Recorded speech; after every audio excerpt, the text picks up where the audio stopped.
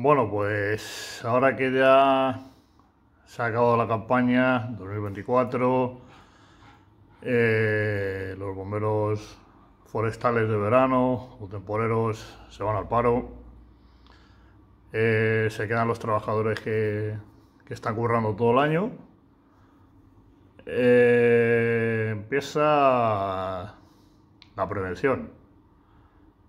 Qué bonita palabra si si realmente se hiciera tal cual, ¿no? O sea, qué bien que realmente se hiciera prevención, pero prevención de la de verdad. ¿Por qué digo esto? Pues porque si, si se fijan ustedes, eh, incendio forestal Almorox, 28 de junio de 2019. Pasan cinco años. Eh, ¿Conclusiones de, esto? Pues Pues lo de siempre. ¿Qué es lo de siempre? Pues llevarse la madera de los montes públicos, del monte público número 47, Pinar del Concejo de Cadalso de los Vidrios, monte público número 50, Cenicientos, denominado las albercas y las alberquillas. ¿Vale? En Cadalso de los Vidrios se quema la parte este, este, noreste de la, de la Peña Muñana, todo pinos. Y bueno, pues la situación pues sigue. Ahora, ahora más adelante entraremos en más detalle. Y bueno, y en, Cenicientos, pues lo que es la zona del pantano, en la zona de la alberca hacia arriba, pues el 60% del monte público de Cenicientos ha ido a, tomar vientos. Y así se ha quedado. Eh, ¿Qué ha pasado? Pues nada. Se lleva la madera eh, en alguna presa que se encarga de, del apeo, de, pues, en fin, de la explotación maderera. Eh, se llevan todo, o sea, verde, seco. Bueno, ahí no voy a poner en, tela de juicio a los técnicos de la Comunidad de Madrid, pero sí que me llama la atención eh, el achaque, ¿no? de decir, no, es que nos tenemos que llevar lo verde y lo seco porque al final las plagas pues proliferan y famosos escolítidos de siempre. Qué excusa más guay, siempre es la misma, ¿no? Y bueno, es que hay que llevarse todo porque al final los pinos se enferman y, crean plagas y, al final se, pierden todos los pinos, los buenos, los malos, pues los verdes también.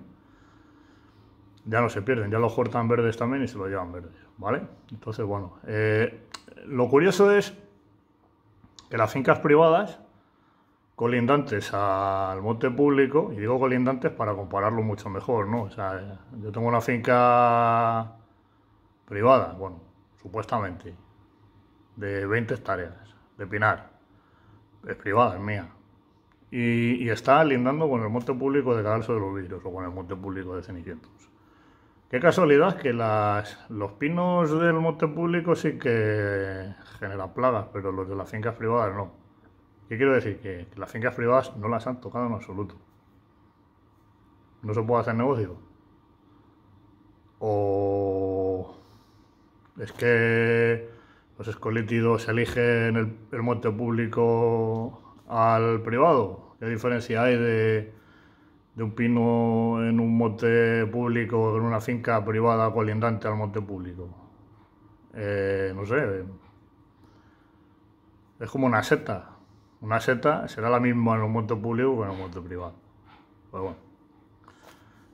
Total, resumiendo, que la administración de la Comunidad de Madrid, como siempre, eh, ha hecho lo justo y necesario para justificarse Em, el monte de Cenicientos en principio iba, a ser repoblado. Al final deciden que se regenere por, por eso, por regeneración natural. Y eso pues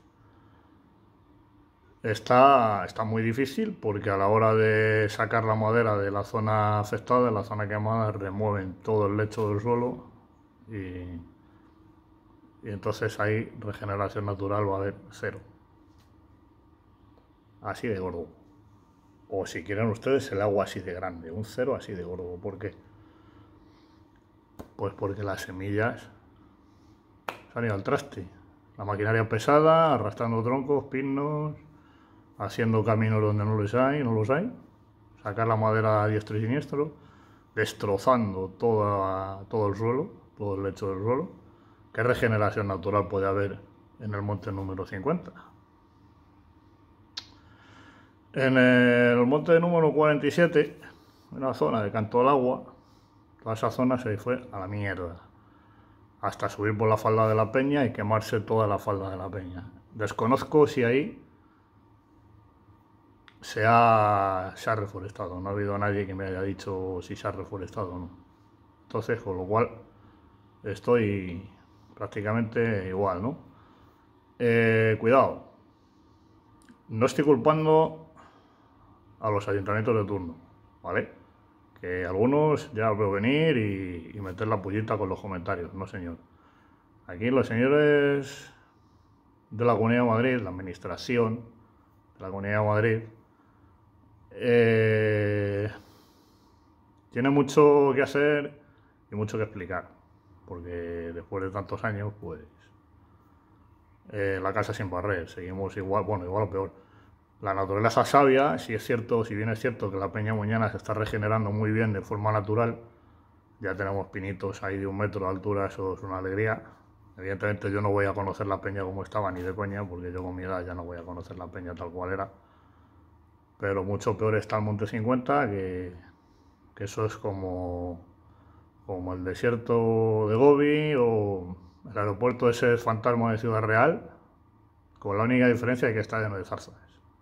O sea, es una zarzalera inmensa. Eso es lo que ha crecido ahí. ¿Por qué? Pues por lo que he dicho antes.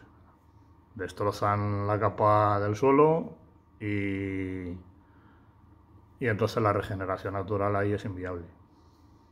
Eh,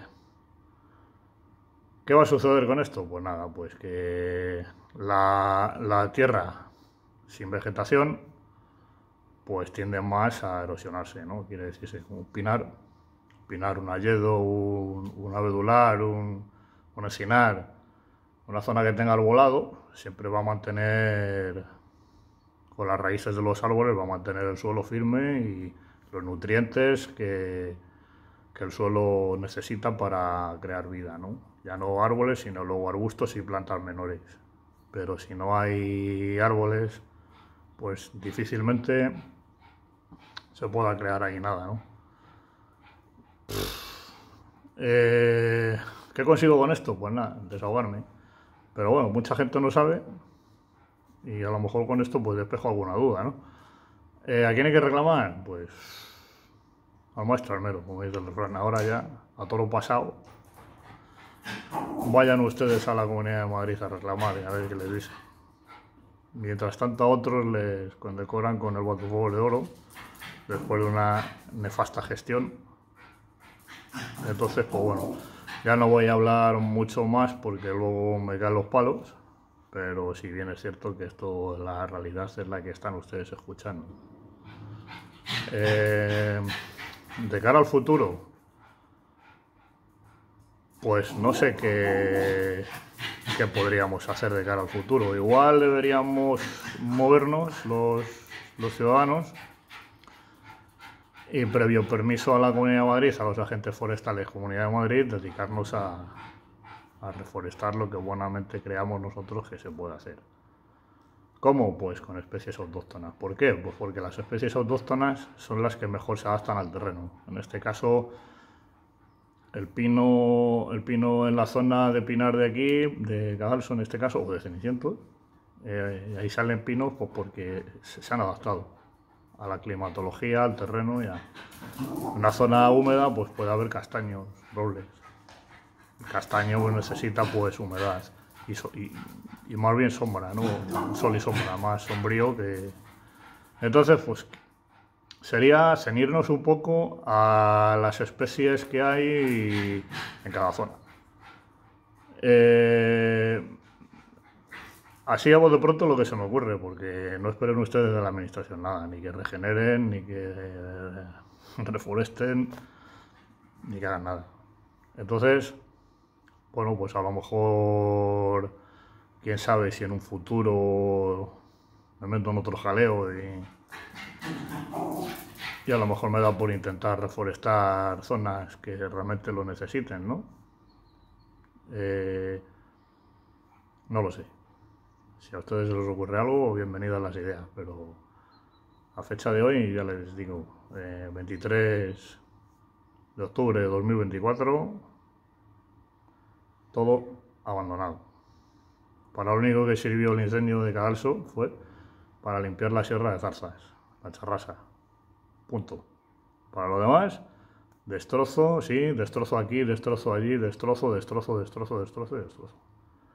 Y no hablemos de, de la pérdida de suelo por la erosión del agua, pérdida de nutrientes, la capa que se crea por la ceniza impide que el agua eh, traspase la tierra, los acuíferos no reciben ese agua porque hay una capa encima que impide que el agua sea absorbida adecuadamente. Estamos hablando de la ceniza, ¿eh? cuidado, la ceniza que se queda después de un incendio forestal. Me parece que es una idiotez, no es ninguna idiotez. Eso es un impermeabilizante para que el agua no traspase y los acuíferos no puedan coger agua. Y eso sí que es un problema, señores. Eso sí que es un problema. Pues se queman los pinos, bueno, se queman los pinos, pero el agua la vida, sin agua, estamos jodidos, pero muy jodidos. Entonces no solo pierdes monte, sino que también los acuíferos no recogen el agua necesaria que, que nos va a hacer falta luego las épocas de más sequía, ¿no? Los meses de más sequía. Así que, y eso además aparte de no, de no aprovecharse el agua, eh, la erosión está al orden del día. Al no haber vegetación, pues erosión. Lluvias torrenciales, erosión que te crió. Y eso es lo que hay. Eso es lo que nos ha traído el famoso incendio de 2019, señores. No, esto. No, no voy a enumerar la, cantidad de, destrozos que, genera un incendio, eh, porque tampoco quiero deprimir a nadie. Pero vamos, si hablamos de pérdidas, hay muchísimas. Flora, fauna. La fauna, señores, no se olviden ustedes de la fauna. La fauna es importante para el ecosistema y para el equilibrio los animales también, también regulan el ecosistema. Si no hay animales, pues... Y si no hay agua, si las plantas se mueren, pues los siguientes en morir, saben ustedes quiénes son, ¿no? Efectivamente, nosotros. Así que nada, no quiero, no quiero, no quiero a ustedes quiero tampoco aquí que nadie se venga abajo por el tema, pero bueno, pero sí que sepan ustedes que la casa sigue sin barrer, ¿eh? O sea, que lo sepan ustedes. Gracias a la gestión en aquel entonces, del 28 de junio de 2019. Estamos a 23 de octubre de 2024. Que hayan tenido tiempo. Buenas tardes.